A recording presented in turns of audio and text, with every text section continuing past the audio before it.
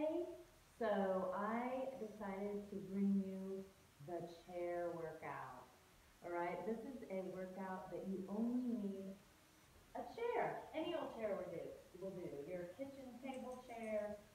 If you use a folding chair, just be very careful that it's sturdy so that it won't fold up on you. Um, anyway, I find one of my strengths is that I can come up with a workout with anything.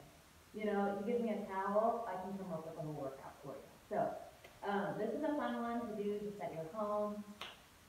Well, they all are, aren't they? But uh, followed by a five to seven minute warm up, then you will start this um, chair workout. Um, examples of warming up again are marching in place, do a little side to side, add some hamstring curls, a little high knee. Now I'm doing this very quickly, just to give you some ideas. You can even just do this, get your shoulders into it. Move for five to seven minutes before you start any workout or stretching routine. You can go up and down the stairs. I even like to tidy the house. Uh, uh, tidy the house really quick, and I call that my work. Come here, Fred. Why don't you say hi? This is Freddie.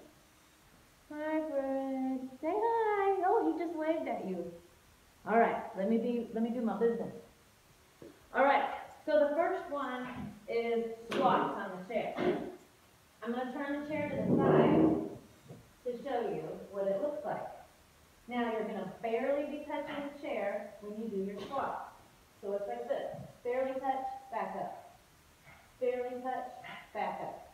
Now, that would of be progression two. Progression one, if you need for the, the sturdiness and the stableness, sit down, stand up. Okay? Now, I don't like this one as well because you're resting, but some people need it to get started, okay? Otherwise, you're barely touching, and you're, look how low I go. Look how low that squat is. That's the way the squat should be done. Keep it low. Your knees always stay over the heels. Never go over the toes. Okay? That's your squat. Do three sets of 10. Do it for a minute. I don't care.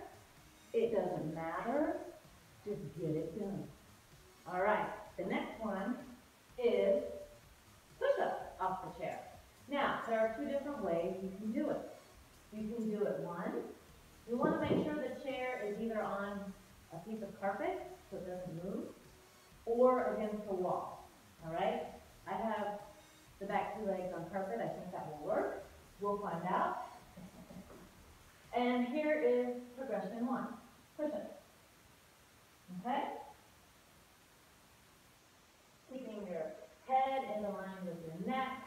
Your chin is not up or down. It's just straight. Okay, that's progression one. If that's too easy for you, then try this. You can put your feet, I don't think there's enough room for me. Here, you put, I'll do it this way. You can put your feet on the chair and do your push-ups this way.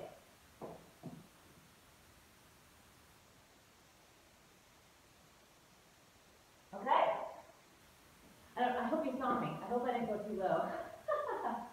All right, moving right along to, um, if you notice I'm doing lower body, upper body, lower body, upper body. The next one I call, don't know what it's really called, is leg over. Now, progression one is using the small side of the chair, and it's kind of like an egg beater move. You're just doing this. Okay? We're rotating the hips, getting the outer and inner thigh activated. Anytime you do a kick or anything with the legs in the air, you're working the abdominal muscles. So, double trouble.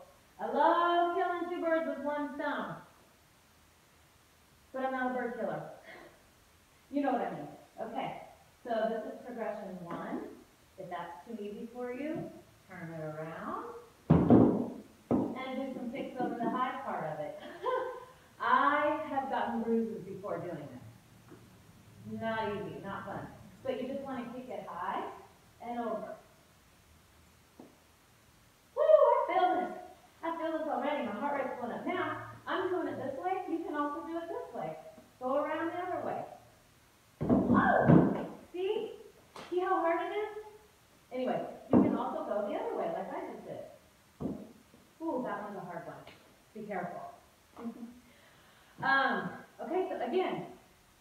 Do 10 on each side, three times. Do it a minute each side. I don't care. Get it done. All right, the next one, upper body, is dips. And it looks like this. This is for your triceps. Probably one of the weakest muscles of the body because you, know, you don't lift your groceries like this, right? You lift them in the front with your biceps. So you have to work the triceps as much as possible. And dips are just dips. Hinging right at the elbows and up. Okay, now this can be hard for some people. And I hear a lot of the times people say their wrist hurts. Well, that's because it's muscle transference. When your triceps are weak, it's going to ask for help. Your triceps are saying, help, help, help. And so it just goes down the line to the other parts of your body, and then it goes to your wrist. And a lot of people say, this hurts my wrist. And I always say, keep working at it. You've got to work out the triceps, get them stronger so that the joints, like your wrists and your elbows, don't hurt. The same with knees. When people have bad knees, it's because their quadriceps and their hamstrings aren't strong enough. You need to build those muscles to protect those joints. All right, those dips. Again, three sets of 10 or a minute or two minutes Always work the muscle to fatigue. The last few reps should feel tired. You should feel, ooh, I feel this, I'm tired. And then do two more when you're tired. That breaks down the muscle and it will rebuild stronger. All right? All right. Next one, go in the lower body. This one will get the heart rate up. And it is step up. Again, Make sure your chair is either against the wall, okay, or on the carpet. Very important here. I did this in boot camp a lot, and we had near accidents. Step up. It's just up, up, down, down. Move your arm. Get into it. I'm leading with my right leg. Up, up, down, down. Tap to switch. Up, up, down, down. Simple as that. Gets the heart rate up, works the glutes, works the hamstrings. I'm out of breath already. I love this workout. Only the chair. How easy is that? I need a drink. Keep your water handy. All right. The next one is, you can only do this one if your arm doesn't have if your arm, if your chair doesn't have arms, okay? It's called the Superman. It's going to work your lower back. And it looks like this. So, this one ought to be interesting. So you're going to lay on your stomach and pretend like you're Superman. I'm flying! Whoa, whoa, whoa. Okay, so now you can hold it here, work the lower back, or you can go down and up which kind of makes me feel throw a beat because it puts a lot of pressure on my tummy. So do that only if you want to. Otherwise, hold this for a good minute, 30 seconds, whatever you want. It's not easy. Ha! All right. Ah. The Superman. All right, what's next on my list? Ah, lower body. One-legged lunges. Now this is not for the weak, all right? If you have poor knees, don't do this, all right? This isn't for you. Um, otherwise, put one leg on the chair, rest it on the chair, hop this leg out to make sure when you do your, your lunge that you're your knee stays over your heel, okay? Not a very big move. Look, I'm just going down four to five inches, okay? But we're fatiguing this leg. Oh, I feel it. It's burning. I love it. Keep going. And then, of course, switch. Other leg. Pop it out to make sure your knee doesn't go over the toe.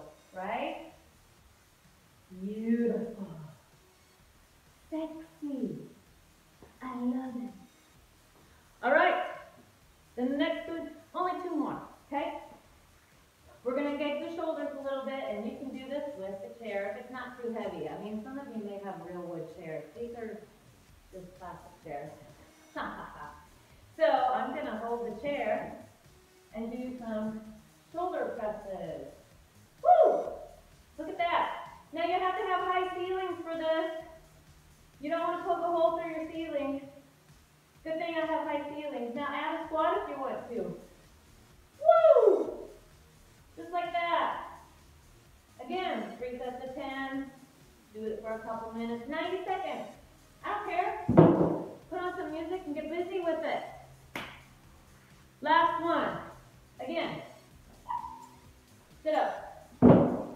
You really can't do this with arms on the chair. You can do this with no arms too if you don't have arms. Okay, so this one, you're just going to bring the legs in and out, working the upper and lower parts of the abdominal. Oh, I tell you what, this is yummy. This feels yummy. I feel this. Oh, I feel it burning.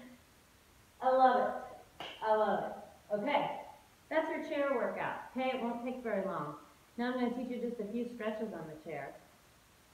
Side note, you can do these stretches while you're working in the office. What? Yes. Word. Let's bring that word back. Say it to everyone. Word.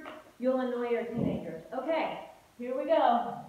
The first stretch is just simply a side stretch. Always anchor yourself on one side so you don't hang. So here's one stretch. I love it. There's another stretch. It is great. Um, and then we have the sitting twist. So you want to keep sitting on the chair, but twist your torso. Get that spinal twist. You always need a spinal twist when you're stretching. And gaze over your back shoulder. And the other side. What do you think? Ready? Ah. All right. This is the, well, this next one is my favorite stretch. It's the outer thigh stretch. Um, and it always feels good to me. Especially after a walk. If you've ever taken a long walk, your outer thighs need stretching. So, right here. Now, some people will just feel it right here. If you don't feel it, bend into it. Hinge right at your hip. How do you like that? I love it. Oh my gosh, it feels so good. Yeah, it does. It really does. I'm not lying. It's really good for me. And switch that, of course. And then the last stretch on the chair. If you do this in the office, people may think you're a little weird. Or they may think you died. But it's just a forward bend. You just want to bend all the way down. It really stretches out the spine. Oh, right? You're at your desk all day, on the computer. Shoulders are tense. This kind of just relaxes the shoulders and stretches out the back. Okay? Now, other things you can do, also if you're at the desk, is stretch out your hands and each finger. You know, do it this way and go the other way, okay? Because all these muscles are being overworked. And just take a moment to pull each finger. yeah, my boys used to say, pull my fingers, so whatever, that, that made me laugh. I am always thinking that way. Anyway, just take a moment to do that. And right here, this stretch. Same with the other side, you know. You can also just bring the shoulders back. We all drive like this. We all type like this. Do you want to be like this when you get older? No. Sit up straight, good posture, shoulders back, chin up, shoulders back, chest out. Let's do this. Raise your rear view mirror a little bit so that you have to look in it looking up. Same with when you're at your desk. Good posture. So important. So important. So let's make sure you constantly think about retracting the shoulders back, sitting up straight, stretching. I am gonna show you one more stretch through the doorway that feels so good on the chest and pectoral muscles, and it's good for posture. I'm gonna switch you around here. There's the rest of my house. Here we go. This is another good stretch. All right? Place your um, forearms on the doorway step through it. oh my! I do feel this. This is a good one. One foot's in front of the other. And just hold that stretch. Hold all your stretches for two to three breaths. You can count if you want to. I prefer breathing. It's just easier. And that is your chair workout for today. Enjoy. Go get it.